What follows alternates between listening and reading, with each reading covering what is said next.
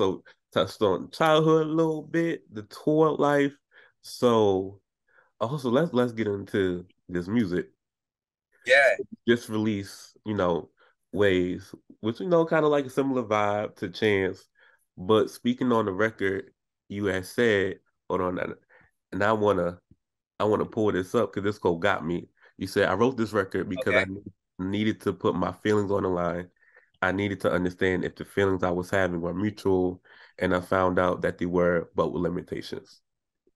So with me listening to the record, I, I said that though. yeah, listen, exactly. That's why we about to touch into.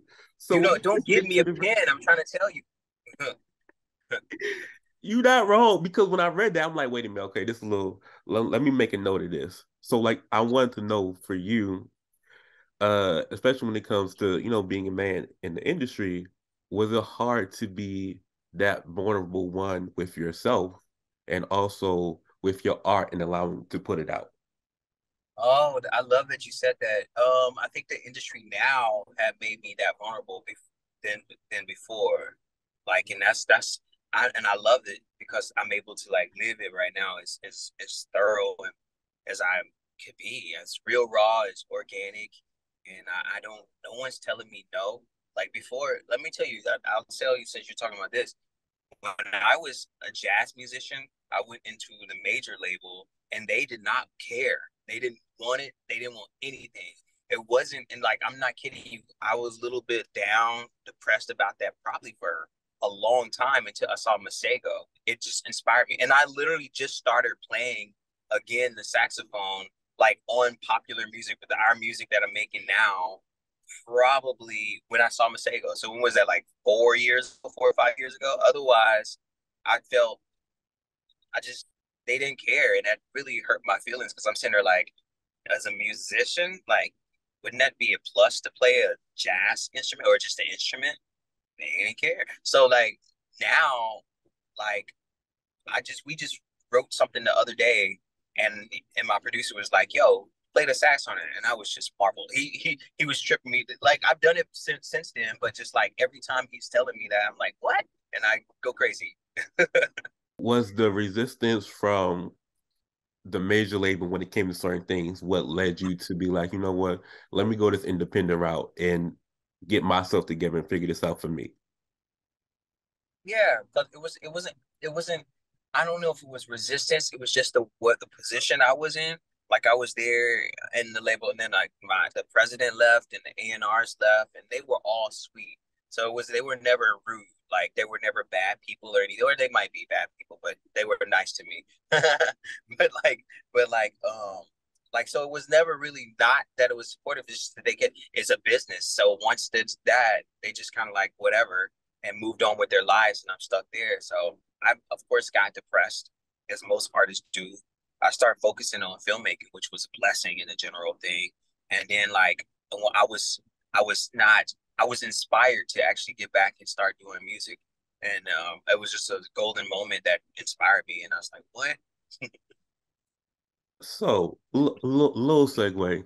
So, like you say, you were depressed for a certain point in time. Um, and unfortunately, I think that does like come with being a creative, like that depression just kind of hits, you know, throughout. But when you say that, and also with May being Mental Health Awareness Month, was there a point where you were like, okay, I'm in this depression, you know, how do I get myself right? And how do I move forward in a more positive than destructive direction? Um, hmm. Um, I don't know. Yeah, I think God just was watching over me in a weird, in a, in a not a weird way, but just like a solid way. Um angelically like i think that because i don't i don't remember the thoughts of how to get it over get over it. I i'm, I'm an avid therapy i go to therapy like i'm avid at that. I now i'm like there all the time like to talk about it like every other week literally you know but like in that time i was using like drugs just doing ridiculous stuff i was promiscuous and cheating on my girlfriend all kinds of horrible things that i guess was supposed to make me feel good but it really didn't. And then I think that it was just the grace of just God who gave me up. He gave he sent signs to me that help help me. You know, like some major signs. I yeah, it was just major signs. I was like, what? no, I, I understand that because like I say, creative depression, go through it, going through it right now. So wholeheartedly, we see each other. I understand. Yeah. Um, people should know. You should know, like you know, it's it's it's one of those things that you know. I don't think that, like, I don't even know if I understood it as much as I do now with the knowledge. So, like, for people out there that's going through this stuff, it's very very common. Like, it's nothing that most of us don't already go through. We just don't know. We're just now understanding how to name it. You know what I mean? Like, like so so to to go through it and then you realize what's happening, it's a great awakening to it. But it's nowadays you get help. You talk to people. People are open to it. People are vulnerable for you. You you're vulnerable for to them, and and no one's judging you. You know, obviously there's a stigma on some of us, the black and brown community, to be like that way in general. But honestly, stigma with all communities. You know what I mean? They, they say that, but it's they say that because that is true but it's a stigma across the board to be really honest you know no you're not wrong you're not wrong at all especially in the day and age of social media and seeing the having the accessibility to seeing what people say and how they react and you know the knowledge and things like that you know right. so that is an important part in the growth and addressing mental health you know being open and, and vulnerable with the song and also depression and mental health is that part of the reason why you decided to name the forthcoming EP Human to like, you know, mm-hmm. human go through these feelings, go through these emotions sort of thing? Yes, you're absolutely right. And to me, the the it's it's a um it's it's, it's actually going to be two parts, and then I haven't even announced that, so that's that's new. But um, the way I did it is that I said human just because it's called being vulnerable. We're all human. You know what I mean? And that was my way of being like, vulnerability. Like I went through some things over the past two years that's been, you know, heartbreaking and challenging, you know, but it has allowed me to realize how human I am per se. Like we see so much stuff and we start getting digital. So we're not as we're now we're AI. You know what I mean? so so to bring it back to where we are, it's just one of those things as my way of kind of just being vulnerable, honestly. And no, no, and I understand that because you definitely, know, we having like a real deep conversation, but you definitely was vulnerable on your forthcoming single bullshit. I ain't even gonna hold you now. I was listening. I'm like, oh, he he's he's setting some things off. He's like being real, letting it out there. So like, what went into the creation of the song, and how did you feel after you completed it? Um, you know what? I'm gonna tell you, this is a secret. Like a lot of times when I write these songs, I black out. I feel like bullshit was vomiting at the mouth. It's something I needed to say, and I'm not kidding you when I said I wrote this song in like 15 minutes. Like I, I I'm not kidding you. I'm not kidding you.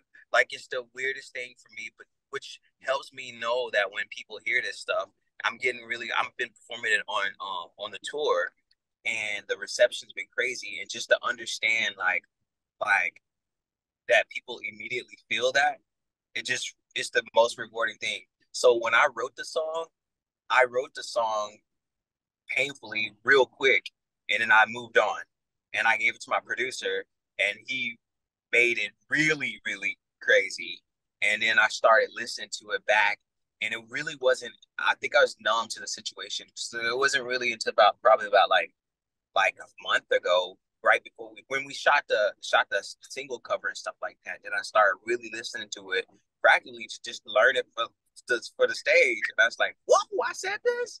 Like so, it's it's so many things.